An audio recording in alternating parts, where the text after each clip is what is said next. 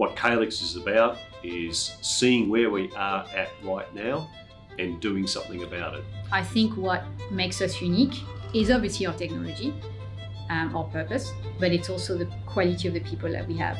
Challenging each other's ideas, contributing to each other's ideas, you know, being being you know, brutally honest about whether this path is the right path or, or not at times, um, caring about what we do and what impact it has in the world. It's really all about optimism and determination to change our future.